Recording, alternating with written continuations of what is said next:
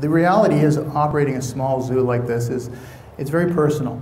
Sean, Todd, and Jonas, the three year old tiger, were kidnapped on the way back home from Nova Scotia where they were at a circus.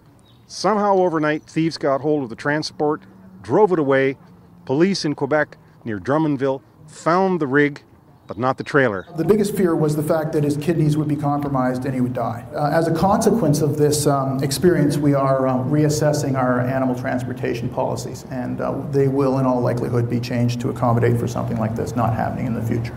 All across Canada, everybody's been waiting with bated breath to find out if everything's okay because these animals needed water, especially the tiger. Camels can last for a bit longer.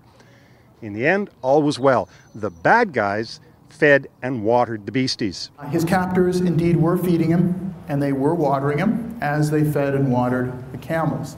Um, the police uh, in Quebec uh, provided tremendous resources. Uh, there were helicopters in the air, um, countless squad cars. Uh, it was, a, it was a, a, a, just a tremendous effort. And they're back home, where today they were shown off to the press so that we can tell everybody they're safe and sound.